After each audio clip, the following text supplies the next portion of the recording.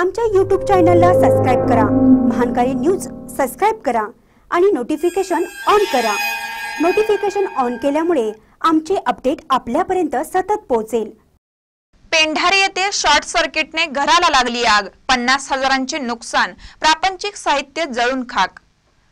बेळगाव जिल्हा रामदुर्ग तालुक्यातील पेंढारी येथे सैपंजी बेन्नी यांच्या राहत्या घराला शॉर्ट सर्किटने आग लागल्याने संसार उपयोगी साहित्य जळून खाक झाले आहे.